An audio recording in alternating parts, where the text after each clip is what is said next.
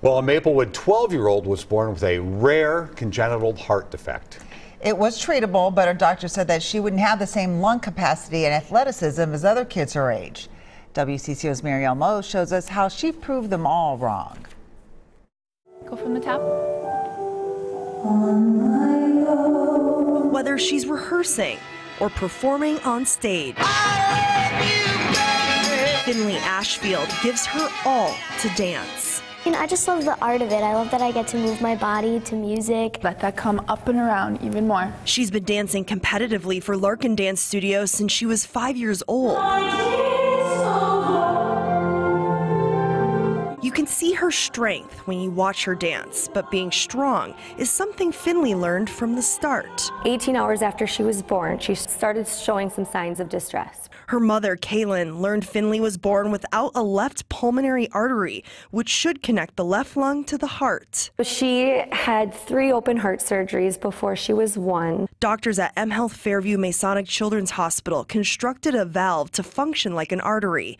But doctors warned that Finley would likely only have 60% lung capacity. She probably wouldn't be able to do marathons, extreme sports, things like that. And in that moment, it was perspective. We get to keep our baby. She will be healthy no matter what. Anybody with decreased blood flow to one lung uh, has decreased exercise capacity because they have to breathe harder they have to breathe faster. Dr. Guru Hiremath often tests Finley's exercise capacity on a bike. Nice job. Her results, she has 115% lung capacity of a healthy child her age. She has beaten all the odds. Hey, Finley! Finley tested those odds at a national dance competition in Las Vegas last summer, competing against hundreds of dancers her age from across the country.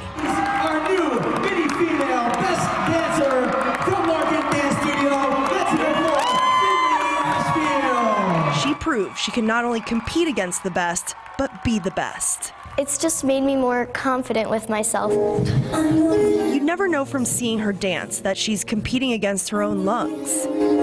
But a scar left behind from her first surgeries as a newborn show all that she's been through. My scar is called a zip line. It's something Finley doesn't hide from her friends and teammates. Instead, she celebrates it.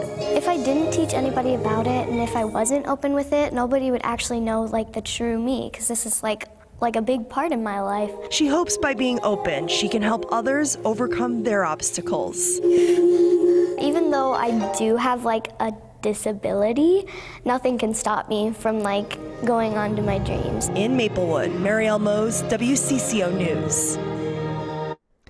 Finley will still need one more big surgery to get an adult size valve implanted since she will eventually outgrow the one that she uses now. And her next big dream is to someday dance on Broadway.